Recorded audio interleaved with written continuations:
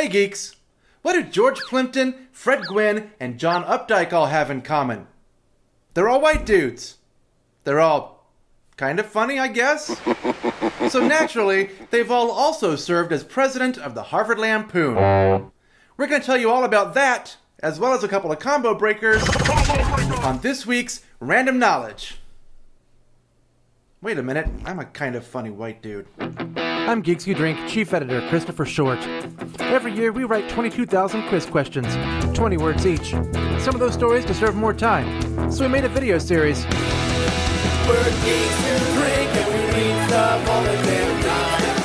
We read stuff all the damn time. This is Random Knowledge. The Harvard Lampoon got its start in America's centennial year, 1876. For most of its history, the club has been known for two things vaguely humorous on campus pranks, and magazines that take the piss out of the parochial world of Harvard itself. It's basically the American archetype of college boys behaving sorta badly. Or at least it was until 1982, when Lisa Henson was elected as its first female president. Yes, that's right. The Harvard Lampoon is to Jim Henson's eldest daughter, as the United States of America are to. Uh, your name here. But backing up to the mid 20th century, as their notoriety grew, so did their publication base. And their work was featured in Time, Cosmo, Sports Illustrated, and Playboy. Yes, Playboy has always had articles, but that still doesn't excuse your Uncle Jimmy for leaving it out like that. The 70s saw the pinnacle of the Lampoon's success, with many of its writers helping to create SNL and Animal House. In fact, to this day, the Harvard Lampoon gets a big chunk of its budget from a licensing agreement with the rotting corpse of the National Lampoon. Meanwhile, back at Harvard, the best known semi recent presidents were Conan O'Brien and Colin Jost. But it's also churned out plenty of other current TV writers, including this week's real subject, Alexis Wilkinson.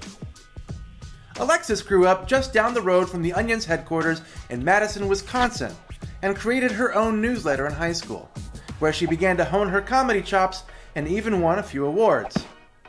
When she wasn't writing jokes, she was a bright science and math student, and so she applied to nearly 20 schools for biomedical engineering and economics, finally settling at Harvard Econ. But the comedy bug doesn't unbite, and as a freshman, Alexis wrote 50 plus comedy pieces for the Harvard Lampoon's audition process, which they call comps. She made it, and she went from writer to comps director, and then in 2014, she became their first black president though she said various things about how much she was thinking about that during the campaign. In any case, she wasn't content to rest on her historic laurels. Under her direction, the Lampoon went from four or five issues a year to seven, and Alexis's byline appeared in Time and Cosmo. Not Playboy, though. Anyway, after she graduated with her econ degree in 2015, Alexis went Hollywood, and she's written for Funny or Die, Veep, and Brooklyn Nine-Nine, and she published a holiday piece last year in The New Yorker. Not a bad resume for somebody who's still just four years out of college. And if you can remember how Alexis Wilkinson got her breakthrough, then you'll get yourself a point at the regular Geeks Who Drink quiz on this date right here. Right here.